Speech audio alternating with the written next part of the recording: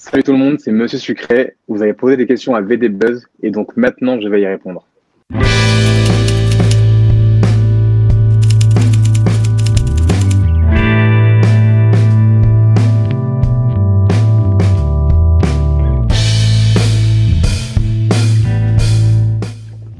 Alors j'ai 27 ans.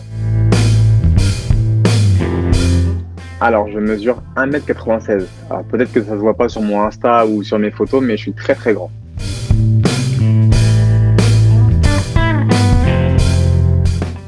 Oui, j'ai deux petites sœurs de 23 et 19 ans.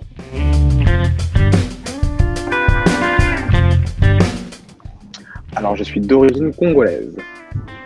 Kinshasa plus précisément, parce que je sais que les gens aiment bien savoir entre les deux, Kinshasa ou Brazza, c'est Kinshasa. La maman et le papa, Congo. Alors, je suis vierge. Je suis né en septembre. Moi, je pense que ça me correspond. Je suis quelqu'un de très ordonné, très pointilleux. Euh, je sais que quand je dans un truc, j'y vais toujours à fond. Donc, j'ai toujours, toujours de bonne volonté. Et je pense que c'est ça qui qualifie un peu les, euh, les vierges. Et j'ai un côté aussi sensible, euh, très humain. Donc, ouais. Moi, je dirais que je corresponds au profil type du vierge. Au niveau des défauts, je dirais, bah, en fait, je connais que les qualités des vierges. Alors, les défauts, je saurais pas dire. Euh, non, franchement, les défauts, je connais pas du tout. Mais mes défauts, je dirais que. Euh, euh, alors, je sais pas si c'est un défaut ou pas, mais être un peu trop sûr de soi, peut-être. Peut-être peut-être que je sais pas passer trop mes proches avant moi, j'en sais rien. C'est un peu mes défauts. Mais voilà. Oui, j'ai un tatouage. Et euh, je l'avais déjà expliqué, c'est que je l'ai fait il y a quelques années, il y a 5-6 ans maintenant. Euh, et je l'avais fait parce qu'en en fait, j'avais des galères à ce moment-là. Et, euh, en fait, sucré, c'était pour moi un concept de vie où il faut prendre toujours la vie du côté sucré, malgré les galères qu'on peut avoir. Et euh, là, en ce moment, avec le confinement et tout ce qui arrive, il faut vraiment prendre la vie du côté sucré. Sinon, on pète un câble. le côté sucré, c'est vraiment toujours rester positif. Que même si on a des galères, on a des merdes, ça va aller. Ça va aller pour moi, dans la vie, il y a une balance qui se fait et que même si on a, on a un peu down en ce moment, un peu comme tout le monde, je pense, eh ben, ça va toujours se rééquilibrer et, euh, après la tempête, il y a toujours le beau temps. Euh, bah, j'y ai pensé, avec tout ce qui s'est passé là pendant le, confinement, tout ça, avec le Covid, j'y ai pensé. Euh, je pensais à faire Rise, genre s'élever. Alors je sais pas où le mettre, je sais pas si je le mettrais au niveau de mes poignets, ma main ou je sais pas. Alors pendant le confinement, ça a été très très dur. Ça a été dur parce que j'ai eu bah, ma séparation avec euh, Chloé, j'ai eu, je suis tombé malade, je me suis fait opérer de la jambe, j'ai perdu beaucoup beaucoup de poids à cause de ma blessure. Et euh, c'est vrai que c'était très très dur dans le sens où c'est là où je me suis rendu compte que, que j'ai vraiment un mental et que dans la vie, si on n'a pas de mental, c'est très compliqué de s'en sortir. Donc euh, ça a été dur pour moi. Mais j'ai pris sur moi et euh, je suis bien entouré et maintenant ça va beaucoup mieux et je suis très heureux. J'étais confiné en famille euh, en région parisienne avec ma mère. Voilà. Alors la première chose, je crois même que je suis resté euh, chez moi le, lundi, c'était le 11 mai, lundi 11 mai je suis sorti après le, enfin, pas le confinement. mais je crois que le lendemain, le lendemain, je suis parti voir des amis et je crois que toute la semaine j'ai profité avec des amis, de la famille et voilà quoi. Je pense que tout le monde un peu euh, a fait ça un petit peu, c'est euh, profiter de ses proches, de ses amis et, voilà. Alors j'ai fait une, licence, euh, j'ai fait un bac ES, j'ai fait une licence information communication et un master communication des médias. Voilà, donc un bac, un bac plus 5 et j'ai eu mon diplôme en 2018.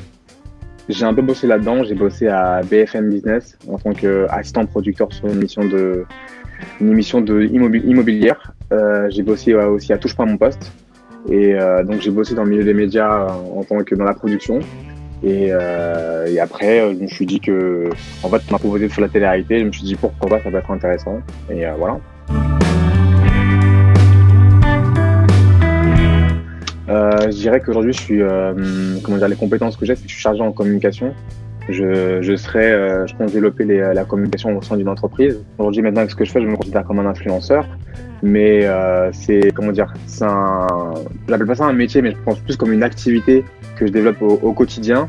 Et euh, mais pour moi, c'est pas un métier en tant que tel, en fait. Je pense, je pense que c'est plus une activité qu'on qu'on développe création de contenu, etc. Mais j'appelle pas ça vraiment un, métier.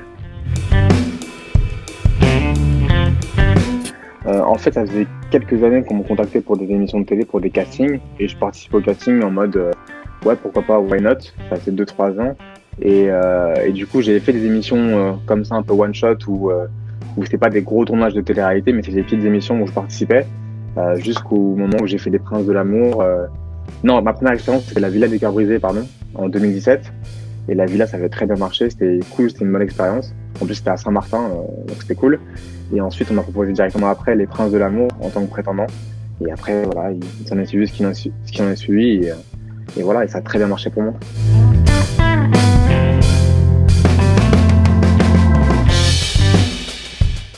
Non, pas du tout. Franchement, j'aimerais bien en refaire. C'est une expérience de ouf. Maintenant, ça fait ouais, presque un an et demi j'ai pas fait de tournage, donc euh, mais c'est une expérience de ouf. Et franchement, il y a beaucoup de gens qui critiquent la télé-réalité, mais si vous saviez comment comment se passe un tournage, non, c'est franchement c'est kiffant. C'est vraiment kiffant de ouf. Et, et ouais, non, je le dis, j'aimerais bien refaire un tournage. Alors, euh, dans Les Princes, j'ai, bah, forcément, c'était Dylan que j'avais le moins, moins apprécié. Euh, à ce moment-là. Mais après, voilà, c'était pour moi, c'était il y a très longtemps. Je suis pas dans une haine, quoi. Euh, s'il est en bonne santé, que tout va bien pour lui, que ça marche pour lui, tant mieux pour lui. Mais euh, ouais, à ce moment-là, précis dans l'émission, c'était Dylan qui vraiment euh, m'en supportait. Franchement, je suis en guerre avec personne. C'était pas mon, pas mon délire. Je suis en guerre avec personne, que de l'amour. C'était Lalou, Lalou. C'était Lalou, c'était le gars avec qui j'étais tout le temps. En fait, j'avais une image de comment était la télé et comment étaient les candidats. Et quand j'ai vu Lalou, que je l'ai rencontré, j'ai vu vraiment que c'est quelqu'un très simple, très gentil. Et, euh, et, je le redis à chaque fois, c'est un mec, euh, il a une belle âme. C'est un truc de ouf. J'ai rarement rencontré des gens qui ont un fond qui est, qui est bon. Donc euh, ma plus belle rencontre, je dirais, c'est Lalou. J'avoue, j'ai regardé que pour lui. Et il m'a fait rire. Il m'a fait rire, c'est du Lalou tout craché. Et après, voilà, c'est un tournage. Hein. C'est pas, c'est pas la, c'est pas la réalité, c'est pas la vraie vie. Mais c'est, il m'a fait rire et mais au final, maintenant, aujourd'hui, il est en couple, il est très heureux. Donc, euh, donc euh, je pense que les, les coachings avec Lucille m'ont servi à savoir ce qu'il veut vraiment dans la vie. Euh, et voilà. Alors, je sais que son turnover est, comment dire, très compliqué à expliquer. Je pense que vous pouvez, tu, peux, tu peux directement lui poser la question. Mais, euh, mais je dirais que je pense qu'il il a dû être perdu un petit peu à un moment donné. Et, et voilà, on sait comment ça passe en tournage. voilà, on, on, sait très bien, on va pas se mentir. Mais, euh, mais au final, c'est pas un méchant garçon, c'est un, un, très gentil garçon. Il a vraiment un bon fond et, euh, ça n'a pas marché avec Léana, ça n'a pas marché avec Manon, mais au final, aujourd'hui, il est en couple et tout se passe bien pour lui. Donc, euh, donc rien n'arrive par hasard. Mes expériences télé, j'ai aucun regret. Franchement, moi, je, je, me donne toujours à fond et je fais toujours en, en sorte qu'au moment où je prends des décisions, en âme et conscience, j'étais sûr de ce que je voulais faire, donc j'ai aucun regret. Mon meilleur souvenir en télé, je pense que c'était euh, le moment où je suis parti de l'émission. Parce qu'en fait, je m'étais rendu compte que j'avais fait euh, trois semaines de ouf sur un tournage. Et en fait, j'étais coupé du monde, j'avais pas de contact avec mes proches, ma famille et tout. Et, j'ai réalisé que ouais, j'ai participé à un tournage de télé-réalité et j'ai vécu des expériences de ouf avec des gens de ouf. Et, euh, c'était ouf. Et je pense que j'en suis ressorti grandi. c'était ouf. Donc le, ouais, le meilleur moment, c'était vraiment quand je suis parti et que je me suis dit waouh, en fait ce que j'ai vécu c'était un truc de ouf. Et euh, le pire moment que j'ai vécu en télé-réalité, pour moi il n'y a pas de pire moment, mais je dirais le, le moment en fait qui m'a un peu saoulé vraiment pendant le tournage. En fait, Dylan avait euh, insulté euh, des prétendantes en face à face. Et moi, je suis quelqu'un que voilà, j'ai deux petites sœurs et tout, et je pense que on peut avoir des désaccords avec les femmes, mais à partir du moment où on les dégrade, on les insulte, comme ça en face à face, ça m'avait choqué et j'en avais fait part à la production et qui avait compris tout de ouf. Et du coup, il avait calmé d'ailleurs par rapport à ça. Et euh, ouais, donc là, le pire moment, c'est quand j'ai vu ça. J'ai vu ça, ça m'avait choqué. Et d'ailleurs, je lui ai dit en plus, et il l'a compris. De mon émission des Princes de l'amour, je suis encore en contact avec Tom, avec Lalou, il y a Kane aussi, je suis en contact, Lolissa, euh, Souria. Moi, j'ai des nouvelles régulièrement des, prétendants, mais plus Lalou, c'est sûr. Et, euh, et sinon, aujourd'hui, je suis en contact avec d'autres candidats de télé-réalité que j'ai pas connus dans les émissions, mais avec qui je suis en contact, avec qui ils sont, qui sont hyper cool. Euh, là, récemment, on faisait un live, on rigolait avec Toto, Toto des Anges, qui est, drôle. Shana aussi, avec qui je suis en contact. Et euh, je sais pas, d'autres personnes, plein d'autres personnes. J'ai pas là, j'ai pas en tête les gens qui me viennent, mais Safia aussi, et c'est une très gentille fille, très belle femme et tout, avec qui je délire bien. bah attends, Jana, c'est une très belle femme, on va pas se mentir. Et euh, bien sûr qu'elle me plaît. Ouais, c'est une très belle femme, c'est mon style de femme. Euh, la plus belle candidate pour moi, bah, on va pas se mentir, hein, je vais pas dire, je vais pas faire semblant, c'est Chloé pour moi. C'est Chloé. Euh, elle a été Madame Sucré pendant un an et demi, donc donc ouais, c'est Chloé. Hein. Ça reste Chloé. Hein. Alors aujourd'hui, je suis toujours célibataire. Euh, je suis très heureux comme ça pour le moment. Et euh, ensuite, avec Chloé, bah, ça s'est fini malheureusement. C'est une personne qui a énormément compté pour moi. Euh, ouais, je l'ai dit, ça restera. Enfin, elle a été Madame, Madame Sucré. Et, c'est, et voilà, on était un couple goal pour moi. Ça a marché très très bien. Maintenant, je pense que dans la vie, des fois, l'amour ne, ne suffit pas. J'ai essayé de me battre pour, pour qu'on reste ensemble, mais j'aurais fait, je pense, le maximum. Maintenant, je pense qu'on prend chacun des chemins différents. Ah, tant pis, c'est la vie.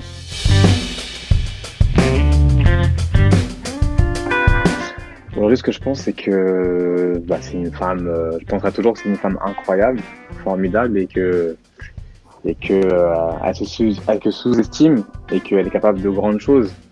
Et, euh, et c'est que ouais, elle est un peu.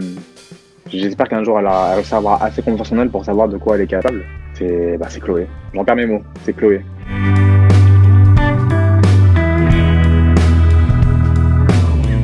Plus du tout. On est plutôt en contact. Ça fait plus, plus d'un mois que je n'ai pas de nouvelles d'elle, donc euh, plus du tout. Malgré ce que les gens ont pu voir sur les réseaux, moi je suis pas en guerre du tout. C'est juste que je devais euh, mettre des mises à jour pour que les choses soient claires. Parce que, euh, mais sinon, pas du tout en guerre. Moi, je suis pas du tout en guerre contre Chloé. J'espère qu'elle est heureuse, que tout se passe bien pour elle et que euh, qu'elle avance dans ses projets, dans ce qu'elle a envie. Et, voilà, je souhaite vraiment beaucoup de bonheur dans, dans sa vie future. Les mises à jour, c'est que j'ai fait des stories un peu virulentes ou euh, par rapport à des choses qu'elle avait faites, en fait, où, où elle parlait de moi sur mes stories, où elle a insinué des choses. Bah, je me suis exprimé en disant que voilà, que Chloé, euh, c'est pas le moment de, de, de, dire des certaines choses, alors que moi j'ai des enregistrements, j'ai des photos et des vidéos qui prouvent autre chose. Donc, euh, mais bon, elle a supprimé ses stories, on m'a dit, donc euh, maintenant c'est passé. Mais je ne parlerai plus de, d'elle dans mes stories, je pense que c'est pas utile. Ça sert à rien de retracer le passé, mais voilà.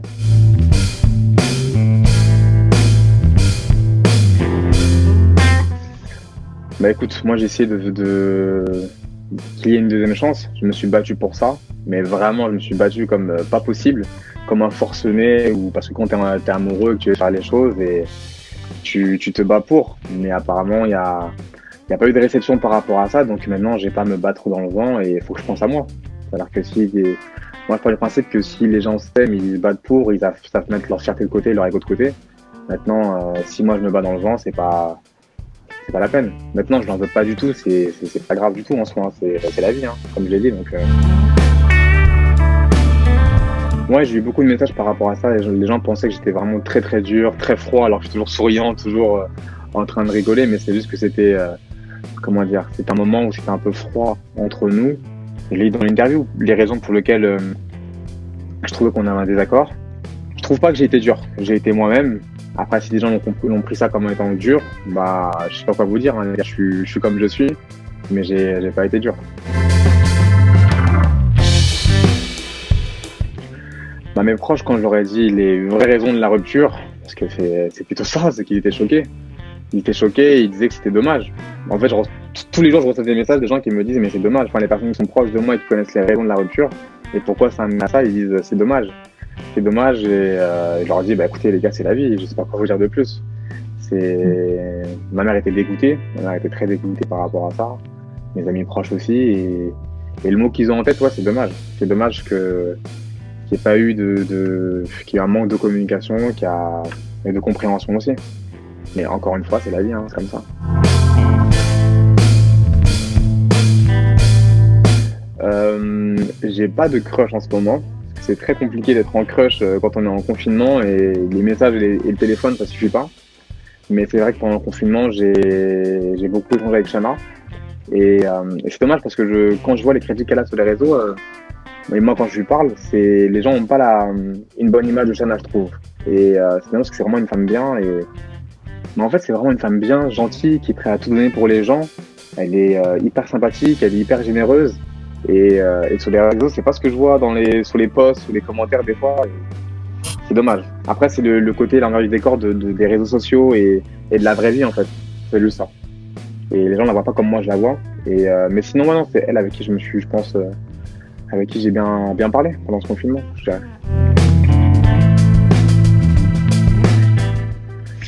Alors, ma femme idéale, euh, bah, c'était Chloé. C'était Chloé, je parle encore d'elle, un peu trop, je crois. non, non, c'était Chloé. C'était Chloé, on va pas se mentir. C'était. Je pensais qu'on allait aller très très loin ensemble. Je pensais je pensais vraiment que ça allait être euh, bah, la femme d'une vie, comme on dit, la femme de ma vie. Donc, euh, mentalement, elle correspondait à ce que je recherchais chez une femme. Après, personne n'est parfait, mais euh, même ses défauts, je, je, kiffais ses défauts. Donc, Chloé correspondait vraiment parfaitement. Physiquement, elle était grande de taille, très très belle. ses qualités à Chloé, c'est qu'elle est très généreuse, elle est très gentille, elle est pas une amoureuse de l'amour, mais c'est une femme qui a besoin de donner beaucoup d'amour en fait à ses proches. Et, euh, moi, dans ma vie, j'ai besoin d'une personne comme ça, qui a besoin de donner beaucoup d'amour, qui a besoin de ses proches. Et, elle est comme ça, quoi. Elle a besoin d'une. Et en fait, c'est ça que je recherche chez une femme, en fait. Une femme qui a besoin de donner de l'amour et qui, a du caractère quand même, un petit peu, c'est important. Mais euh, qui a donner beaucoup d'amour, d'être très gentil, attentionné. Et voilà, c'est ça que je recherche chez une femme, en tout cas. Et les défauts, c'est-à-dire qu'au début de la relation, je voyais qu'elle était voilà, un peu dans son monde de bisounours il lui disait toujours que bah, le monde il est cruel et que le monde des réseaux il est cruel, que que c'est pas comme ça, c'est qu'il faut forger un caractère, sinon on peut se faire bouffer. Et, euh, et ouais, et même si fois au final je, je kiffais ça. Après personne n'est parfait, donc on prend la personne comme elle est, on n'apprend pas quoi. Alors j'ai pris beaucoup de poids. En fait, le 3 janvier 2020, je me suis pesé sur la balance et je faisais 119,2 kg pour un mec 96 et c'est énorme.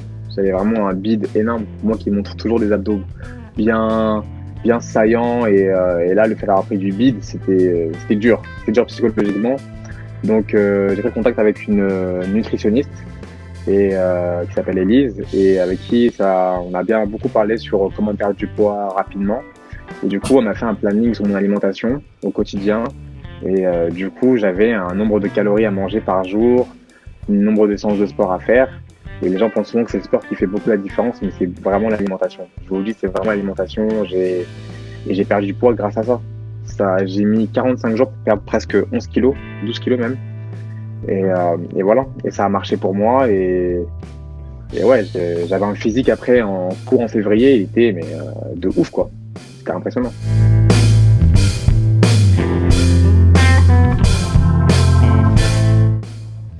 Euh, de base, je dirais la compétition, parce que je suis quelqu'un qui, est compétiteur, je suis un sportif dans l'âme.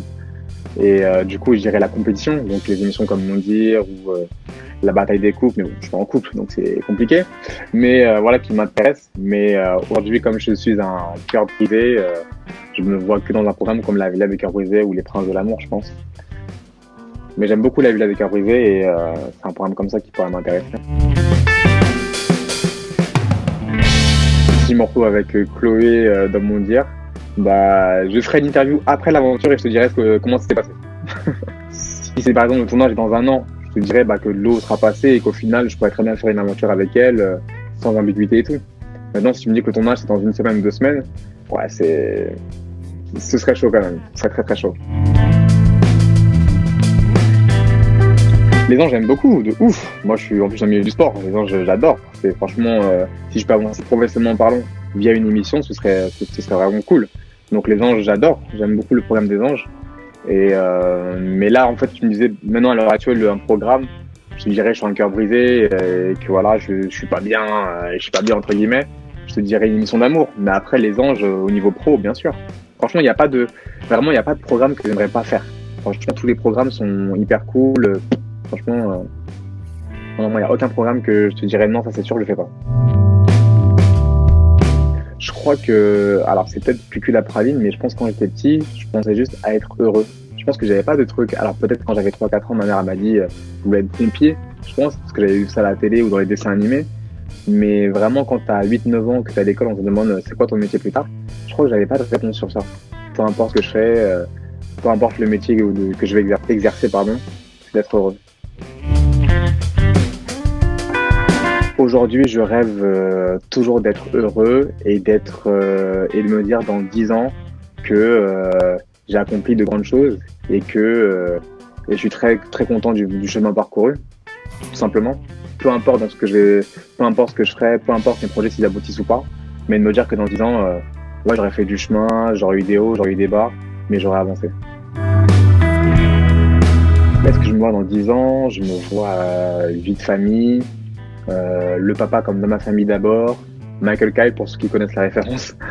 Et euh, non, plus sérieusement, je me vois père de famille avec ma femme et mes enfants et, et heureux, heureux, une grande maison, quelqu'un très simple. Alors je me vois ouais, une vie très simple. Euh, en France, oui, euh, évoluer dans le monde du sport. Alors j'ai des projets par rapport à ça, donc je vais pas trop en parler pour le moment, mais évoluer dans le monde du sport. Et euh, j'aime beaucoup la côte, la côte d'Azur. J'ai beaucoup kiffé euh, habiter là-bas, donc j'irai peut-être sur la côte. Sur la côte, ouais. Donc voilà, j'ai répondu à vos questions. J'espère que ça vous a plu. J'espère que vous avez kiffé. En tout cas, moi, c'était un moment de fou. J'ai grave kiffé faire ça. Et euh, à la prochaine sur VD Buzz.